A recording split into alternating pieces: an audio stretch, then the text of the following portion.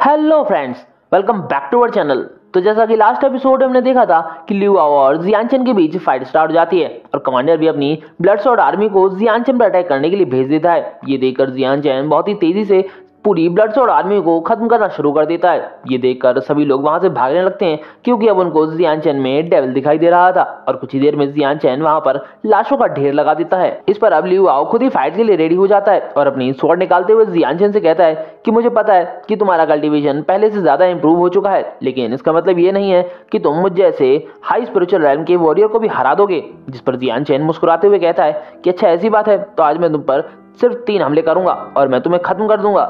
जिस पर वो ज़ोर ज़ोर से हंसने लगता है। और कहता है कि लगता है तुम्हारा दिमाग खराब हो चुका है। और फिर अपनी फॉरन लीव्स टेक्टिंग का यूज़ करते हुए कई सारी स्प्रिजल शॉट से जियानचन पर अटैक कर देते हैं। ये देखकर उनके सैनिकों को लगता है कि आज तो जियानचन मारा जाएगा, क्योंकि लिवाओ ने येलो लेवल एडवांस ग्रेड की स्किल का यूज़ किया था। और हम देखते हैं कि जियानचन लिवाओ से कहता है कि तुम्हें क्या लगता है कि मैंने सिर्फ़ अपना कल्टीवेशन ही इंप्रूव किया है? नहीं, मैंने बहुत कुछ ऐसा किया है, जिसके बारे में तुम्हें भी पता नहीं है। और इसी के साथ जैसे ही लिवाओ के अटैक जियानचन को टच होने वाले होते हैं, कि तभी जियानचन वहाँ से गायब हो जाता है। और वहाँ पर वो एक बहुत बड़ा ब्लास्ट होता है।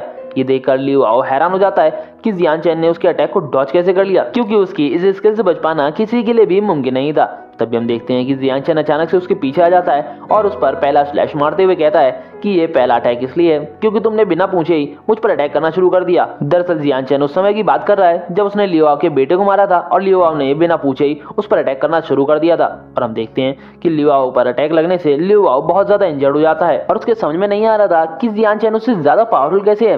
तभी जियानचर अपने सेकंड अटैक को रेडी करते हुए कहता है कि ये सेकंड स्लैश इसलिए है क्योंकि तुम बहुत ही ज़्यादा घटिया हो। तुमने मेरी एंसेस्ट्रल ग्रेव को तबाह कर दिया और मेरे पूरे विलेज को भी जला डाला। और इसी के साथ Jian Chen shadow blood slash की मैन स्लॉटरिंग टेक्निक का यूज़ करते हुए लियुआओ पर अटैक कर देता है। ये देखकर लियो समझ जाता है कि अगर वो इस अटैक से बच नहीं पाया तो वो ज़रूर मारा जाएगा। और वो जल्दी से खुद को डॉच कर लेता है, जिससे वो तो बच जाता है, लेकिन उसका एक हाथ जियानचैन की अटैक की भेंट चढ़ जाता है। इसीलिए उसे बहुत ज़्यादा दर्द होने लगता है और वो चिल्लाने लगता है। ये देखकर जियानचैन अपने थर्ड अटैक को रेडी करते हुए कहता है कि अगर मेरी फैमिली को कोई भी डेंजर में डालेगा तो मैं उसे पूरी तरीके से तबाह कर दूँगा। और फिर जियान चैन अपनी नई पावर्स का यूज़ करते हुए अपनी सॉर्ड को स्पिरिचुअल सॉर्ड में कन्वर्ट कर लेता है। ये देखकर लियो आओ वहाँ से भागने लगता है तो जियान चैन उस पर अपने शेडो ब्लड स्लैश के second skill earth splitting slash का यूज़ कर देता है। और जैसे ही लियो आओ पलट कर जियान चैन के अटैक को देखता है तो हम देखते हैं कि जियान का अटैक लियो आओ को तुरंत ही बीच से दो टुकड़ों में बांट देता है, जिसकी वजह से उसकी वही मौत हो जाती है। और हम जान पाते हैं कि जियांचन के ये तीनों स्लैश इतने ज़्यादा पावरफुल हैं कि वो किसी भी स्पिरिचुअल रैन के वॉरियर को खत्म करने की क्षमता रखते हैं। और अब कमांडर के साथ साथ ब्लड सोड आर्मी भी बहुत ज़्यादा डर जाती है,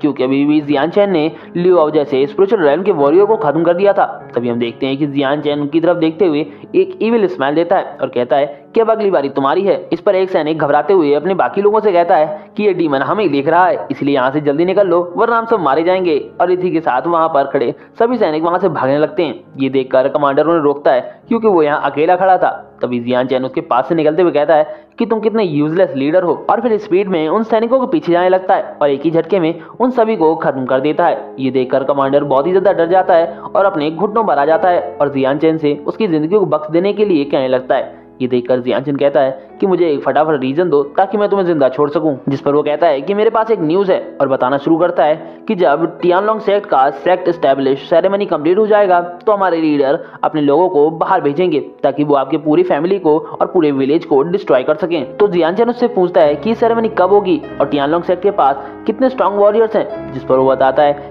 कि ये सेरेमनी अगले महीने की पंद्रह तारीख को होगी और टियानलोंग सेक्ट के पास तीन पावरफुल स्ट्रॉन्गेस्ट वॉरियर हैं, जो कि स्पिरिचुअल रैन के वॉरियर्स हैं और उनका लीडर स्पिरिचुअल रैन के फिफ्थ ग्रेड को भी सरपास कर चुका है। इसके बाद वो जियान चंद से कहता है कि मैं जो भी जानता था, मैंने तुम्हें वो सब कुछ बता दिया है। अब प्लीज़ मुझे जाने दो। जिस पर जियानचंद कहता है कि हाँ हाँ तुमने वाकई आज मुझे सेटिस्फाई कर दिया है, इसीलिए अब मैं तुम्हें पर्सनली हेल्प भेजूँगा।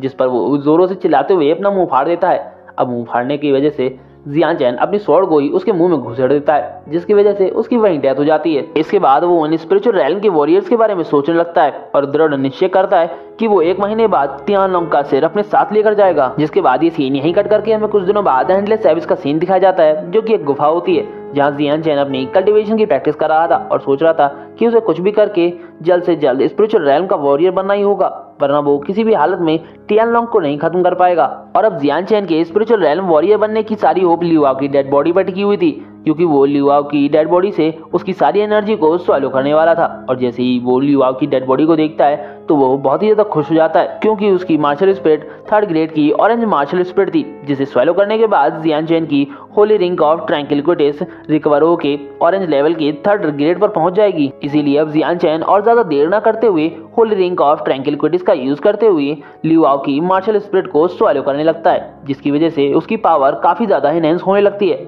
जिसके बाद हम देखते हैं कि अब जियान चैन की मार्शल स्पिरिट थोड़ी थी रिकवर हो चुकी थी और अब जियान चैन का अगला स्टेप ब्रेक थ्रू करना था। इसलिए अब जियान चैन अपनी प्रीमोडियल की का यूज़ करते हुए ब्रेक थ्रू करने लगता है। वहीं हम बाहर साइड ग्रैंडफादर के साथ साथ अंकल टाइशन और अंकल टाइजन को देखते हैं, जिन्हें अब जियान चैन की बहुत ही ज़्यादा फ़िक्र हो रही थी, क्योंकि अभी जियान चैन को 20 दिन हो चुके थे और वो अभी तक केव से बाहर नहीं आया था, जिस पर ग्रैंडफादर उन दोनों को जियान चैन पर भरोसा रखने के लिए कहते हैं, जैसा कि उन्होंने रखा हुआ है, और वो बड़े मज़े में चाय पी रहे होते हैं। जिस पर अंकल टाइजन उनसे कहते हैं कि आप तो ऐसे प्रिटेंड कर रहे हैं जैसे कि आपको जियान चैन की जरा भी फ़िक्र नहीं है।